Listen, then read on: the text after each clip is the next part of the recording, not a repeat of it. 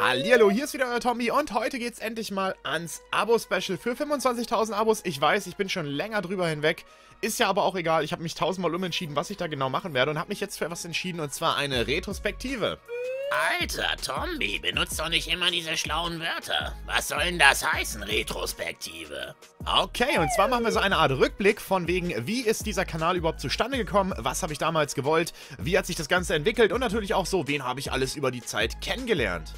Erst einmal, wie bin ich auf den Namen Tombi gekommen? Und zwar habe ich damals mit stolzen 14 Jahren das gute alte Spiel World of Warcraft gespielt. Und dort gibt es nicht nur heldenhafte Krieger, unfassbare Gegner und Ungetüme, Drachen und sonstige Fantasywesen. Nein, es gibt auch noch Gnome. Und genauso ein Gnome habe ich damals gespielt, allerdings nicht den, den ihr gerade seht, nicht so ein Lappen, sondern natürlich einen richtig freshen Schurken. Und äh, da habe ich einfach gedacht, ey, Tombi ist so ein Name, der passt eigentlich irgendwie zu so einem Schurken und deswegen habe ich mir den damals ausgedacht. Und für die Leute, die wissen wollen, warum ich gerade diese Mumie als Avatar benutze, das hat keinen großen Hintergrund. Ich habe die während meines Bachelor-Studiengangs mal erstellt und ich fand die richtig, richtig super. Die ist mir richtig gut gelungen. Und da die auch komplett gerickt und animierbar dadurch ist, habe ich dann gedacht, ey, die kannst du richtig gut benutzen, um damit halt verschiedene Sachen darzustellen. Doch jetzt erstmal zurück zu meinem Werdegang. Und zwar war ich noch in München am Arbeiten und hatte mir da schon die ersten Konzepte und Sachen überlegt, die ich so bei YouTube gerne machen würde. Und dann kam es dazu, dass ich 2016 nach Lübeck gezogen bin. Dort bin ich übrigens immer noch wohnhaft. Und seit dann April ungefähr bin ich dann so ein bisschen hier auf YouTube aktiv gewesen, habe da versucht so ein bisschen durchzustarten und das mache ich halt bis heute.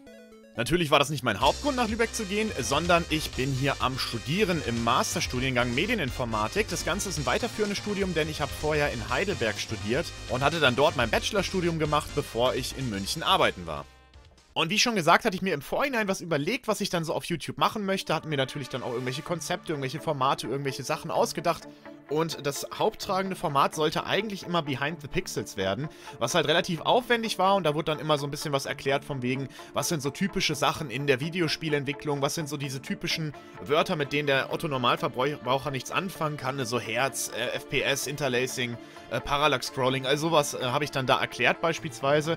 Aber hatte dann auch nebenher natürlich immer wieder irgendwo versucht, dann irgendwas anderes zu machen. Und kam dann in der Hinsicht auch irgendwann auf Spielen von äh, Super Mario 64 als Let's Play so gesehen. Das war dann auch das erste Let's Play, was ich gemacht habe. Hört sich heute super cool an. Ich blende das mal ganz kurz ein. So, hallo und herzlich willkommen zu meinem allerersten Let's Play auf diesem Kanal. Und zwar Super Mario 64 auf der Nintendo 64. Ja, und man merkt schon recht schnell, ne, die Audioqualität hat sich mittlerweile verbessert, so ein bisschen das freie Sprechen hat sich verbessert, man hat ein bisschen mehr Druck in der Stimme, man hat ein bisschen mehr, ja, Selbstbewusstsein dabei. Verändert sich alles so mit der Zeit. Am Anfang fühlt man sich da halt so ein bisschen, ja, fremd, wenn man so alleine vorm PC sitzt und mit sich selber redet irgendwo, ne? Und natürlich hat man in dieser Zeit dann auch relativ viel ausprobiert und rumprobiert und dann auch natürlich irgendwo versucht, immer Feedback zu kriegen. Ne, Feedback ist immer das Schönste, was es gibt auf der Welt für jemanden, der irgendwie Content produziert. Und äh, daher habe ich mich natürlich auch bei diversen Foren angemeldet, irgendwo rumgefragt, hier und das und das und mit anderen Leuten mich unterhalten. Und äh, da war es auch jemand auf dem Weg, äh, mit dem habe ich damals zumindest relativ viel Kontakt gehabt. Der ist heute auch noch immer aktiv, tatsächlich zwar sehr, sehr selten, aber immer mal wieder. Der streamt immer mal wieder Fortnite, der Critics. Und mit dem habe ich mich damals relativ viel immer ausgetauscht, haben uns immer gegenseitig so ein bisschen Feedback gegeben, haben halt ungefähr zur gleichen Zeit angefangen. Und äh, das war eigentlich immer ganz cool. Und dann hat es eigentlich auch gar nicht mehr lang gedauert und dann habe ich mit dem angefangen, was die meisten jetzt hier wahrscheinlich schon kennen dürfen, oder einige zumindest von euch, und zwar Star Wars Battlefront 1 natürlich, also den 2015 erschienenen Teil. Den habe ich damals noch auf dem PC gespielt, habe mir da ganz viele tolle Ideen ausgedacht, ne, von normalen Folgen über irgendwelche Loadout-Challenges, wo sich die Leute irgendwie das Loadout aussuchen dürfen, natürlich dann auch immer irgendwelche Streams und alles ist dann, äh, ja, so ins Rollen gekommen. War richtig, richtig cool, dann hat man natürlich auch so die ersten Leute kennengelernt, die dann im Stream regelmäßig immer zugeschaut haben, die an der Stelle natürlich als erster Mitspieler irgendwo so aus der Community kam dann natürlich Draxler, den dürften ja auch noch die einen oder anderen kennen. Dann hat es auch gar nicht mehr lange gedauert und dann hatte ich auch schon so meine erste in Klammern YouTuber-Kooperation. Und zwar ging das dann los mit dem 3-2-1-Spiele, dem Tim. Und mit dem spiele ich ja heute auch immer noch. Und damals haben wir halt Star Wars Battlefront 1 noch auf dem PC zusammengespielt. Und das erste Mal war das dann am 9.7.2016, also echt sehr lange her mittlerweile.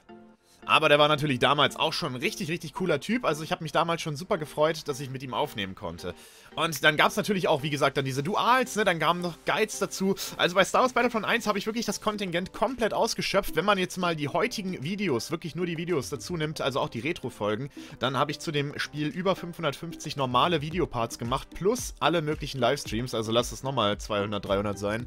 Also das Spiel habe ich wirklich tot gespielt und es macht immer noch Spaß, ne? Also es ist immer noch schön, das immer mal wieder wieder für einen Moment zu spielen. Ein anderer Zeitgenosse, der dann immer aufgetaucht war, war der gute alte Captain Klott. Den dürften ja auch noch viele kennen aus den Livestreams. Also mit dem habe ich ja auch sehr viel dann in Livestreams gerade gespielt.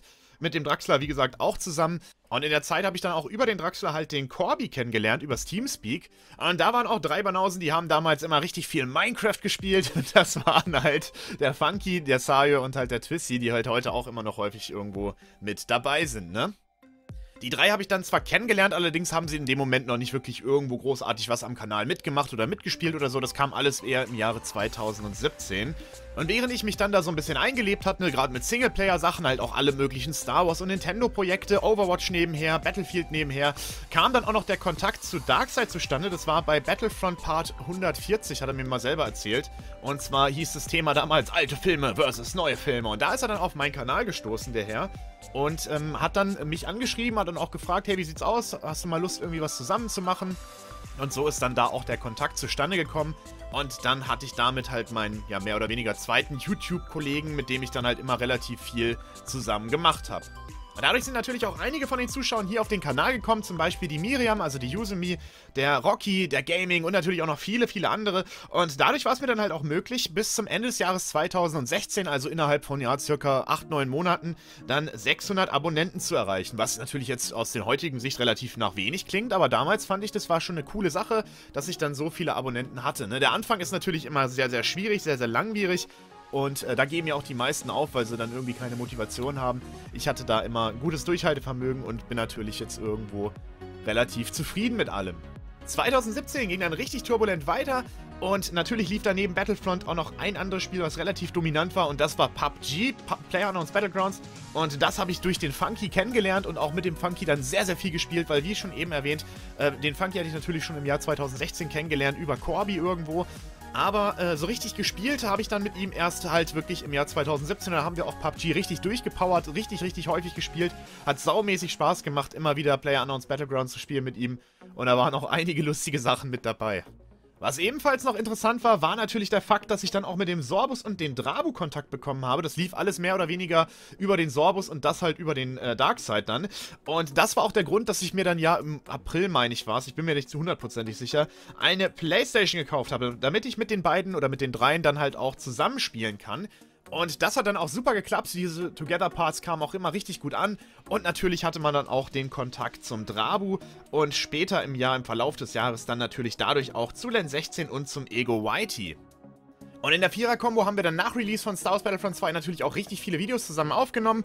Aber ich greife so ein bisschen vorweg, denn ich muss natürlich auch sagen, dass der gute Twisty und Sario natürlich auch davor dazugestoßen sind. Seit ich dann die Playstation 4 hatte, haben wir dann relativ häufig dann zusammen Battlefront gespielt oder halt auch andere Spiele, wie beispielsweise PUBG oder Rocket League. Das Jahr war immer weiter fortgeschritten und dann kam natürlich irgendwann der Tag, die Beta zu Star Wars Battlefront 2 war da. Wir waren alle unfassbar gehypt und dann gab es erstmal zu der Beta einen 12-Stunden-Stream, wo wir tatsächlich wirklich nur Naboo, Takodana und halt die Fondor Raumschlacht-Map gespielt haben. Das Ganze 12 Stunden lang, daran dürften sich noch einige erinnern. Der Twistchen der Sayo war natürlich auch dabei. Also das war wirklich ein krasses Event, ey. Hat hammer, hammermäßig Spaß gemacht, die Beta da mit euch zu suchten. Und zum Ende des Jahres hin, beziehungsweise dann im Verlauf des weiteren Jahres, haben wir natürlich dann den Release abgefeiert, da ordentlich durchgestreamt, ordentlich Videos gemacht, ne, mit Drachenbursche, mit Darkseid noch mit Len 16, mit Ego Whitey, wie gesagt, die ganzen Leute waren da mit am Start, ganz, ganz viel Star Wars Battlefront 2 und äh, so neigte sich dann das Jahr dem Ende zu und äh, so zum Ende des Jahres hatte ich genau, und das war eine, eigentlich eine ganz witzige Sache, weil da war immer so ein bisschen die Frage von wegen, ah, Tommy, schaffst du es noch, die 10.000 Abos zu schaffen bis im Jahr 2017? Und ich meine, ich bin mir jetzt nicht ganz sicher, aber ich glaube, am 30.12. Äh, habe ich es dann geschafft, tatsächlich. Da war ich dann schon äh, eigentlich bei meinen Eltern zu Hause, hatte dann natürlich ein paar Sachen vorproduziert, einen Adventskalender, das war eine super coole Aktion. Ich weiß nicht, ob ich dieses Jahr so eine Art Adventskalender hinkriege. Wenn ihr Ideen dafür habt, das ist eine gute Sache, das anzusprechen, dann könnt ihr natürlich gerne mal was schreiben, weil damals hatte ich, und das können sich auch die gerne Leute mal anschauen, das ist auch irgendwo in der Playlist äh, halt bei den Playlists drin. Adventskalender zu ganz vielen Star Wars Flash Games. Da waren unfassbar witzige Sachen dabei, waren auch unfassbar crappy Sachen dabei, aber hat unfassbar viel Spaß gemacht. Und naja, dann hatten wir das Jahr abgeschlossen 2017 mit halt, wie gesagt, so ziemlich genau 10.000 Abonnenten. War eine wirklich coole Sache und ich habe mich natürlich super drüber gefreut. Und somit starten wir dann ins Jahr 2018 und eigentlich hatten wir Fortnite schon vorher gespielt, nämlich im 2017 hatten wir auch schon ein, zwei, drei Streams dazu gemacht. Allerdings hat es dann erst wirklich angefangen im Januar 2018. Vorher war immer PUBG der heiße Renner, aber dann hat sich das irgendwo gewandelt, dass es dann doch zu Fortnite tendiert ist, weil PUBG einfach irgendwo auf der Stelle getreten ist, leider Gottes. Und äh, somit hat Fortnite auch einen ja relativ großen ähm, Anteil an dem Kanal dann eingenommen. Immer mal wieder als Livestream gezeigt worden und hat auch immer wieder viel Spaß gemacht, das mit den verschiedenen Leuten halt zu spielen. Des Weiteren gab es dann im Verlauf des Jahres immer wieder Streams mit anderen Leuten, sei es mit Leuten wie zum Beispiel dem Drau, mit dem wir dann ganz viel Star Wars Battlefront 2 gespielt haben, oder halt aber auch später im Jahr dann halt auch dem Whitey, mit dem wir dann halt häufiger auch ähm, ja, Fortnite gespielt haben, auf seinem Kanal, auf meinem Kanal, immer mal wieder hin und her. Und das war natürlich auch eine ganz coole Sache. Allzu viel komplett Neues kam dann allerdings nicht mehr dazu. Natürlich gab es immer wieder wechselnde Singleplayer, das ist ja natürlich klar, ne? Die Singleplayer-Spiele waren immer auch irgendwo so ein Nebenbestandteil. Aber was so die Hauptsachen angeht auf dem Kanal, gab es natürlich jetzt keinen großen Wechsel, was äh, Star Wars oder Fortnite jetzt anging. Äh, man hat natürlich dann immer mal wieder irgendwelche anderen Sachen gespielt, wie Mario Kart oder sowas. Gerade die Switch-Ära kam dann natürlich auch, ne? Da hat man relativ viel Switch gespielt beispielsweise. Und äh, das immer wieder mit Sario, Funky, Twisty, also den normalen Konsorten, die man so kennt. Hier natürlich auch manchmal mit dem YT. Das ganze Star Wars Battlefront 2 Ding wurde natürlich auch ausgebaut. Und dann kam es was wie News-Formate dazu, Patch Notes besprechen, irgendwie Loadout-Challenges, Guides natürlich auch, ganz, ganz viele. Und äh, natürlich immer wieder nebenher ne, die ganz normalen Folgen, äh, Folgen mit äh, Freunden, mit irgendwelchen YouTube-Partnern oder halt auch ganz normal einfach die Livestreams mit der Community immer zusammenspielen. Das macht natürlich auch immer verdammt viel Spaß. Mod-Videos darf man natürlich auch nicht vergessen, die waren natürlich auch mit dabei. Also alles richtig, richtig cool. Über das Jahr verteilt gab es dann natürlich auch wieder neue Kontakte, beispielsweise zu der 212. Also Tom und Tar. Mit dem Tar habe ich ja dann auch so ein paar Folgen Star Wars Battlefront 2 aufgenommen. Und natürlich auch Star Wars Basis, bei dem ich so einen Gast-Upload machen durfte. Das ist natürlich sowieso eine coole Sache, weil ich hatte mir überlegt, dass ich wieder ein altes Format wiederbelebe, so gesehen. Und das ist dieses Star Wars erklärt. Das gibt es ja jetzt momentan immer mittwochs, wo ich dann so ein bisschen über normale Star Wars-Themen rede und halt dieses Ganze mit dem Gaming drumherum halt eher nicht stattfindet. Und damit wäre es eigentlich mit dieser Zusammenfassung dieser ja doch sehr groben Ansicht, äh, wie das Ganze jetzt hier zustande gekommen ist. Und natürlich habe ich jetzt einiges geskippt und übersprungen und so weiter. Aber äh, was kommt denn jetzt in Zukunft, könnte man sich noch fragen. Und da kommen natürlich die ganz normalen Sachen, wie sie jetzt laufen. Also Star Wars Battlefront 2, Fortnite, also so Battle Royale Zeug, ne, Mario Kart und so weiter. Aber was so relativ neu dazukommen wird, ist natürlich Battlefield 5. Und ist natürlich Super Smash Bros., was jetzt auch für die Switch rauskommen wird im, an Weihnachten rum, also im Dezember. Das wird immer mal wieder kommen. Das sind so die Zukunftsaussichten, die ziemlich fest sind. Und natürlich wird auch immer noch Halo weiter gestreamt. Und jetzt zum Ende kommen nochmal so ein paar normale Aufzählungen irgendwie, die ich ganz interessant finde, die jetzt in dieser Chronologie gar nicht so toll einzuordnen sind oder ich weiß auch nicht genau, wann ich die einordnen soll oder ob ich das so, das wäre so zwischendrin geschoben. Diese ganzen Singleplayer-Sachen natürlich, die so laufen, ne? ich bin super zufrieden mit den ganzen Sachen, also seien es jetzt irgendwelche Star Wars-Formate, seien es irgendwelche Nintendo-Sachen, natürlich ist mir da immer bewusst, das kommt nicht so gut an und das ist mir dann aber auch im Endeffekt egal, ob dann jetzt äh, relativ viele Leute da draufklicken oder Spaß haben oder ob das dann halt nur der harte Kern ist oder die wenigen. Und äh, so Sachen wie zum Beispiel Dead Space Streams haben super viel Spaß gemacht, auch wenn ich nie so großer Horrorspiel-Fan bin.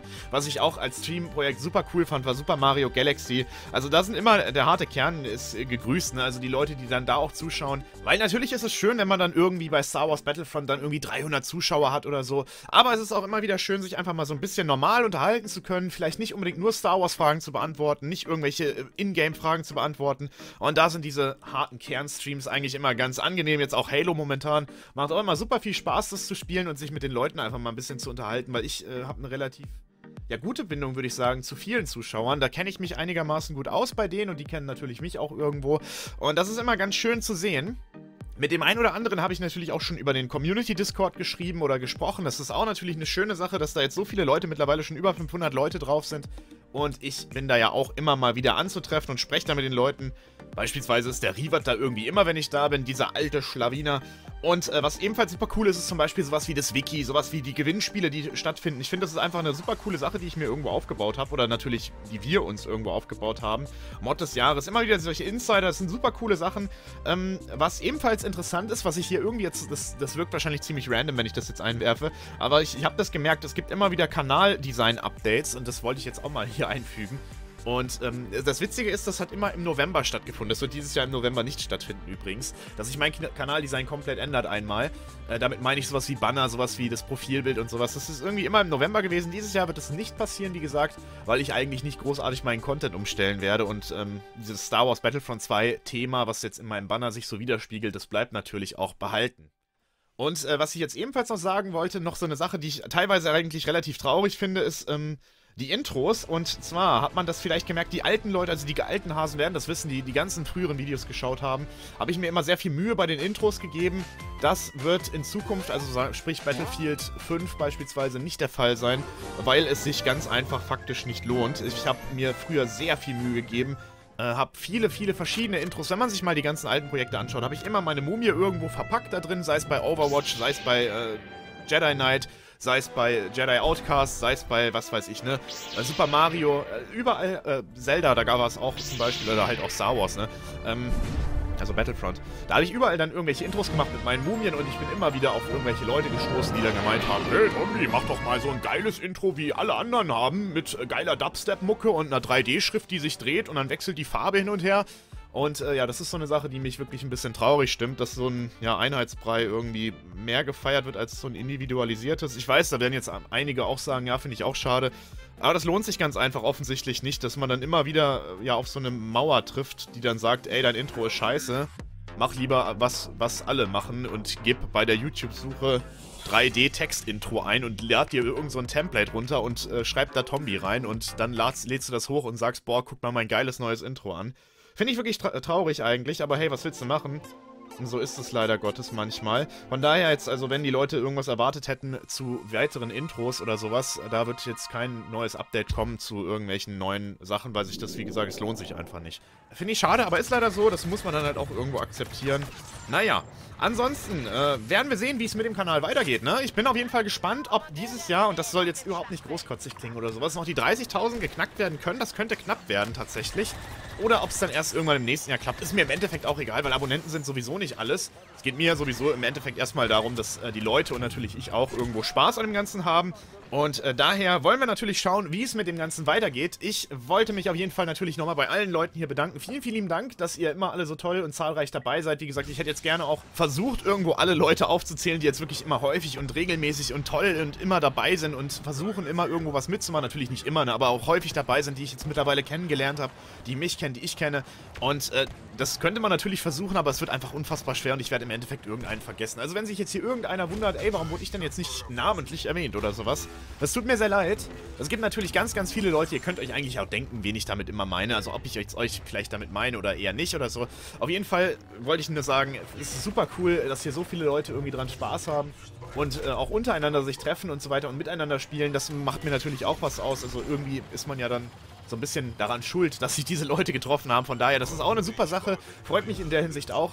Und äh, ich wollte eigentlich nur Danke sagen. Vielen lieben Dank und damit war es das eigentlich auch mit diesem Spezialvideo, was jetzt wahrscheinlich viel zu lang geworden ist. Aber hey, vielen lieben Dank und äh, hoffen wir mal auf die Zukunft, dass es auch so schön weitergeht, wie es bisher gelaufen ist. Ne? Also von daher, danke fürs Zuschauen, bis zum nächsten Mal und ciao.